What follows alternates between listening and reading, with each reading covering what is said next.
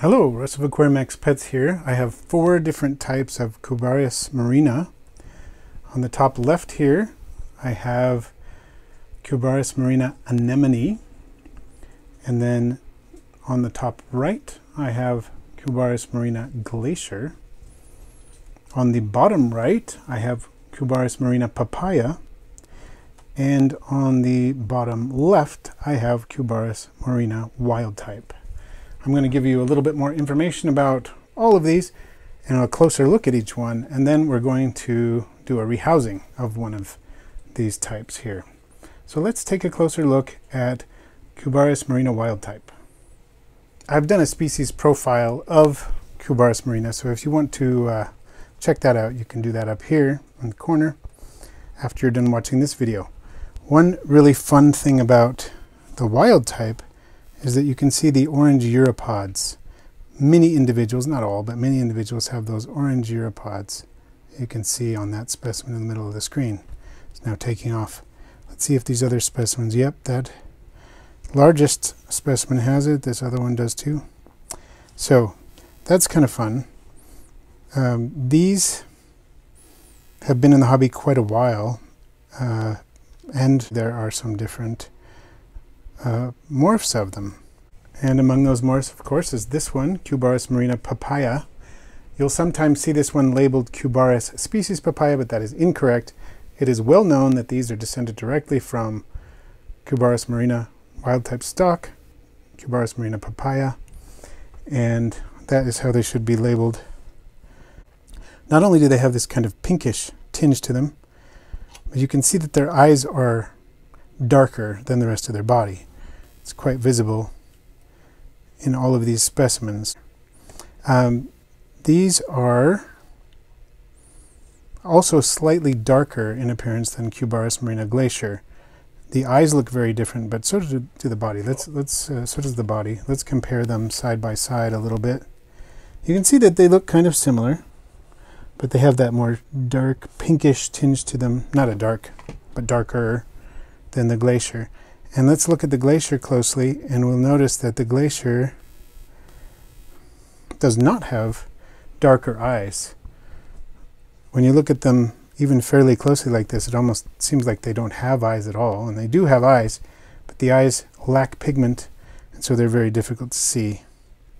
With enough magnification, you can see the eyes, but it is uh, quite evident that there's something different from Cubaris murina papaya.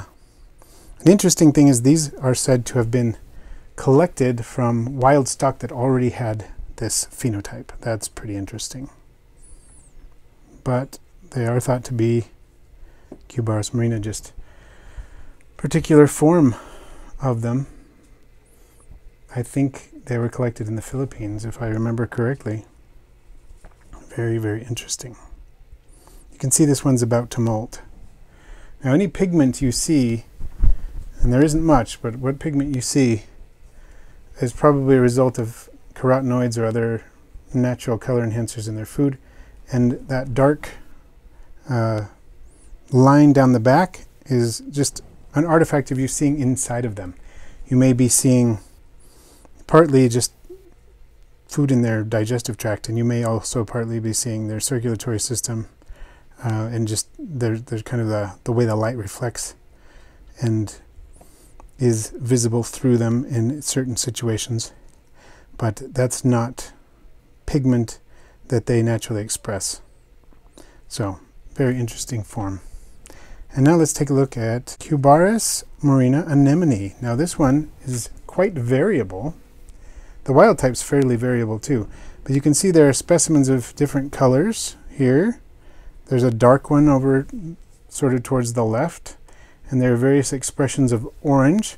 There's even one with kind of a, a fleck on one of its body segments of dark coloration.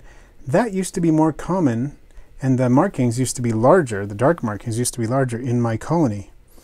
But now I'm getting relatively few of them. As you can see, most of them are pretty close to solid orange except for the color, a few that don't seem to be orange at all. But there are very few that have both the orange and the wild type expressed on the same individual. Just really that individual we saw a moment ago and now I can't find. There it is. That one has a little bit uh, also in the terminal region on the, the pleon. Uh, you can see a little bit too, which is really interesting. Um, there are other forms of Cubaris murina. These are only the types that I happen to have. But very interesting isopod, fairly easy to keep. And once again, if you want to check out my care guide on this species, you can do so at the link that I provided. Now, let's rehouse these Cubaris murina anemone.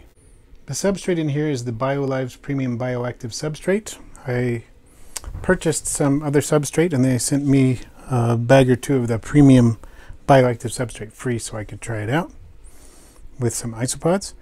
And I also got some bioactive starter, this bacterial and fungal culture that you you add to your substrate to help jumpstart it. So I added some of that. And then I put some leaf litter and of course some, some cork bark hides and a little bit of cuttlebone and a, a shell dish and whatnot. And the leaf litter is nice and moist and rotting and smelly. I have it in my, I pulled it out of my bucket for which uh, I keep for that very purpose so that I can get the leaves all nice and decomposed the way the isopods like it. And now I'm going to let them go into this enclosure. So I'll just zoom in just a little bit. We'll let some of them go into here. See how they do. Over time, they can be tricky to get out of the uh, container. Where did I put my, my paintbrush? I have a little paintbrush here. There it is. Um, with soft bristles that helps me to kind of brush them out.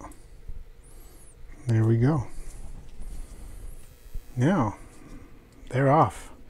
In a few months, I'll see if we can do an update on this uh, enclosure and see how they're doing. Thanks. For watching today. I post videos every Friday with live streams and shorts during the week as well. Please feel free to share, rate, comment, and if you haven't already, subscribe. And then tap the bell for all notifications so you don't miss my next video. And now, let's acknowledge our patrons.